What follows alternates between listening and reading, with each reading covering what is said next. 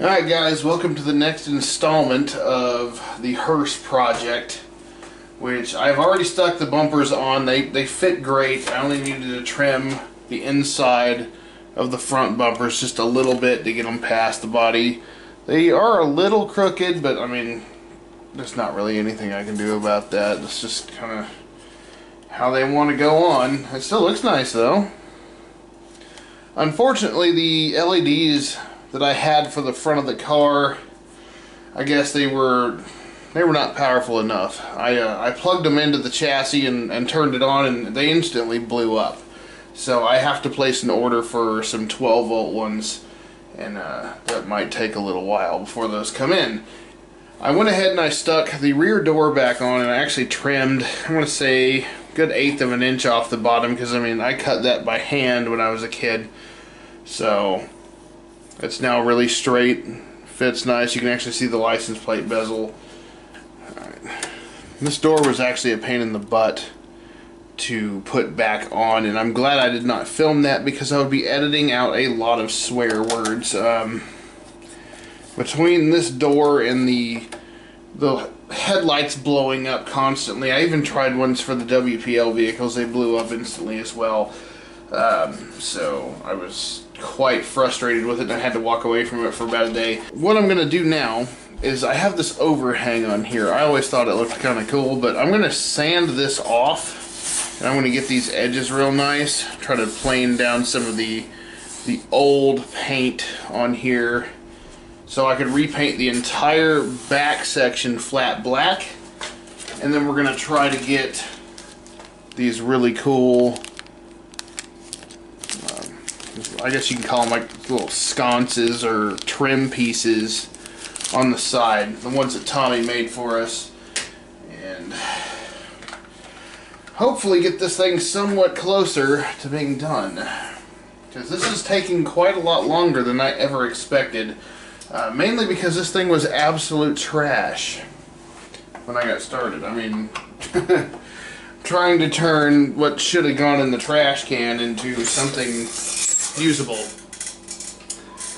So I'm not going to push down on this because this body is very fragile. So I'm going to stand it up like this and just try to carefully sand whatever I can.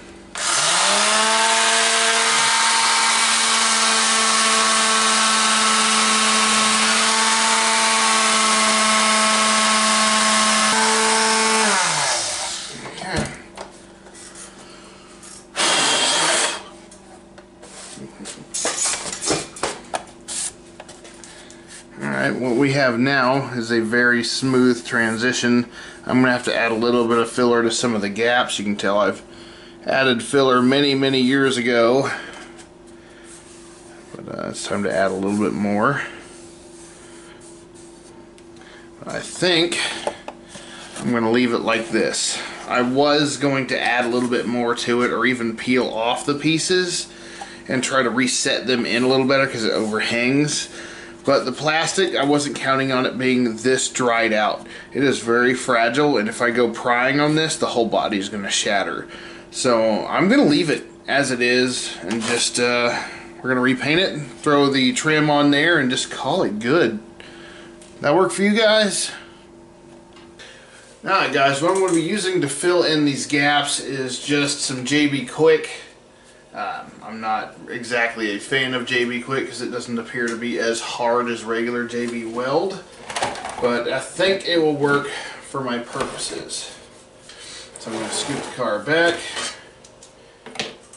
This is the hardener, so we want to use this one. Just using a piece of aluminum, same piece I used to make the bed on the C14 kind of a lot here. It looks like we have a lot to fix. Once we start getting an even gray color like this, it's usually ready to go, but I'm going to mix it just for about a minute longer, just to make sure I've mixed all the hardener into it. Alright, taking just little bits at a time, I want to force it into the cracks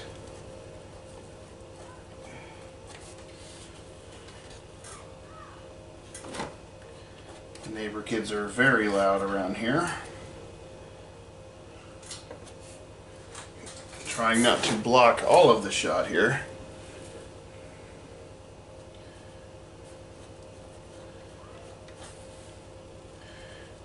I don't care if there's a little bit of buildup, I will sand this back down. This stuff's usually pretty good at sanding down. I will carefully plane it down. Add a little bit more in the low spot. And that is good. Now we just wait.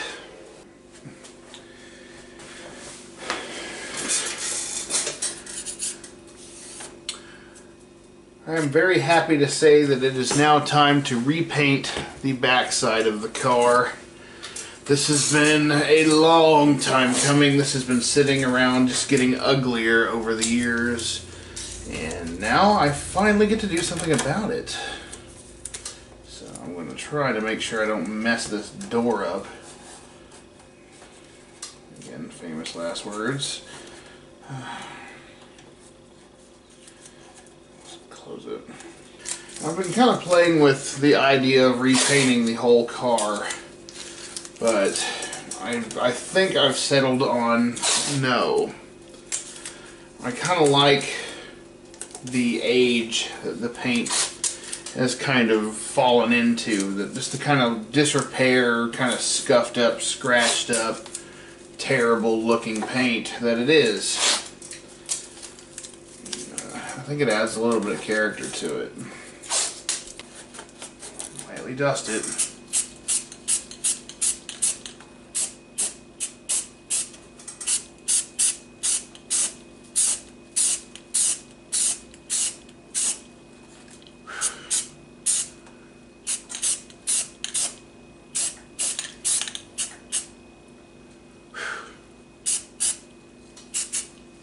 All right. Wait for that to dry, hit it with some black. I know I'm going to be dealing with a little bit of bleed through on the tape, so hoping it's not too bad. I'm going to go ahead and I have some chalkboard paint because I find that it actually makes a much better flat black than your average can. I use this whenever I make Halloween props. I um, actually have a example this past year I actually had somebody give me a bag of cement that they didn't want. So I'm like, what do I do with a bag of cement? So I just started manufacturing skulls. I wish I had made a video of it because it was pretty cool. And I used the chalkboard paint to age it before, you know, scrubbing it with a Scotch-Brite and then clearing it to give it that old, dirty, out of the ground, wet look. It almost looks like there's roots growing through it. So maybe I'll make a video about that this October. If anyone wants to see that, just send me a message. Alright. Now that we've gotten that out of the way, maybe we get some black on this car, huh?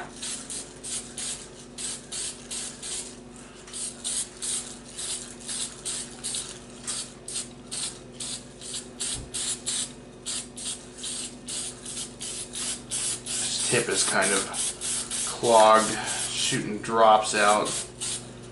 Hope it doesn't mess up the overall paint job. Trying to get it down in the grooves of the wood. Trying to go with with the grain. Now it's going to look shiny for a few minutes until it cures. Wanted to put a very thick coating on it because I know the wood's still going to be able to absorb much of the paint. So, time to let it dry again.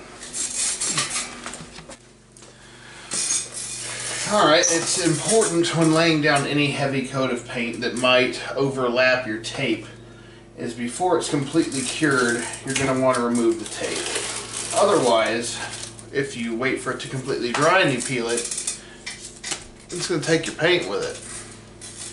So I'm going to carefully unwrap the hearse. Hey, I didn't get a lot of bleed on there at all. Mm. Alright, I can pull the tape off of the door. There it is. Now comes the fun part. Trying to get the side trim pieces on the hearse without messing up the paint. That looks really freaking sick. So, I need a way to prop up the hearse.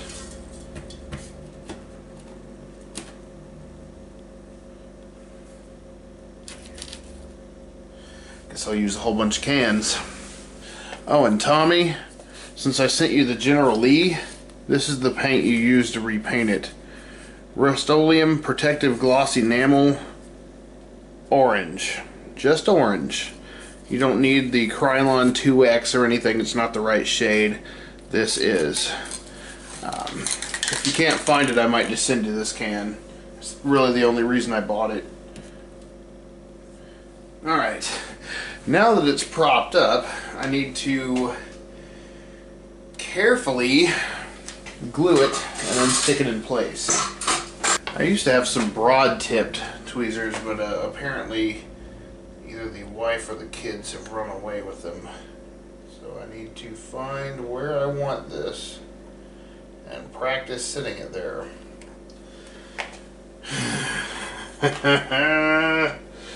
this is going to be hard. This is going to be really hard to do. Okay. Because you only get one shot. Because I don't want glue showing. So it's time to put glue on it. My hands are already shaking, so this is a good omen.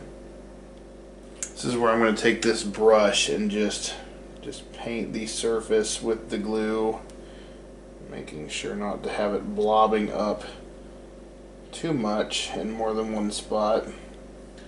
Trying to keep even pressure. Man, this is some nerve-wracking stuff. Alright. I would really like it to be there.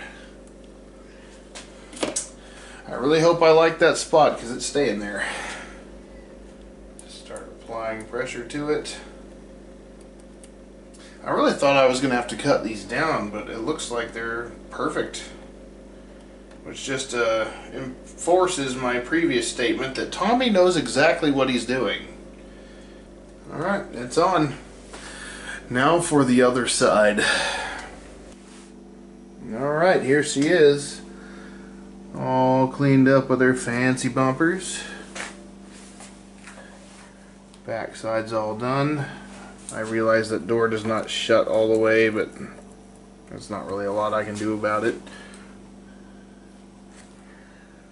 All it needs now is some LED lights for the front, which I'm going to try to order within the next couple days.